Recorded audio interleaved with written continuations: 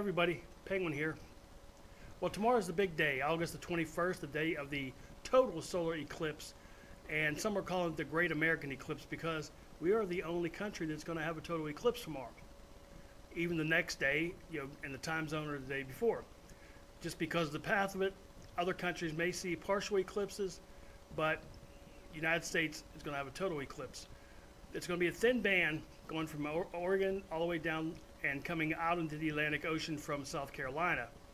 Now, this is very rare that one goes from coast to coast. Uh, I've made a video that talks about eclipses and gives some facts about it, and you can choose to view that. I will put the link down there in my uh, somewhere. But remember, don't look at it. If you don't have glasses that are certified, don't trust the cheap Japanese knockoffs because they're they're not going to work as well and you may hurt your eyes. But even if you're in the path of it where it's going to be totally blacked out, some say you can look at it, some say you can't. Don't take that chance. You only get one set of eyes, guys. Come on. Be smart. Make sure your children are smart. A lot of schools are keeping kids later so that they can see it, but a lot of schools are letting kids out early so they don't have the liability of somebody injuring their eyes looking at it. Do what you want, take care, but my advice is to not look at it. In my area, somewhere in Georgia, at about a little bit after one, it's going to enter into the sun.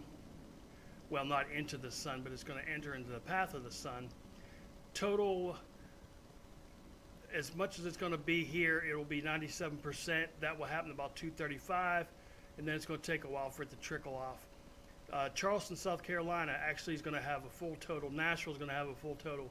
I think St. Louis is going to have a full. There's going to be several major cities that will have a full total eclipse. What's interesting about this one is everywhere in the uh, lower 48, the continental United States, will see at least a partial eclipse. I think ranging from 47% up to 100. So that's really that's what makes this so so awesome because it's going to be another what 50 60 years before there'll be one like that to where that many people that part of the big part of the country is going to be able to see something like this. Not sure what we're going to be doing tomorrow. We will be doing something with the eclipse and i will take video not of it of course because i don't have polarized lenses or anything like that but we'll we'll let you know what we're doing. We may do live uh, at some point using a model of a viewer or something like that. May go live shortly, not sure, but definitely will take some video and either tomorrow night or Tuesday I will post it.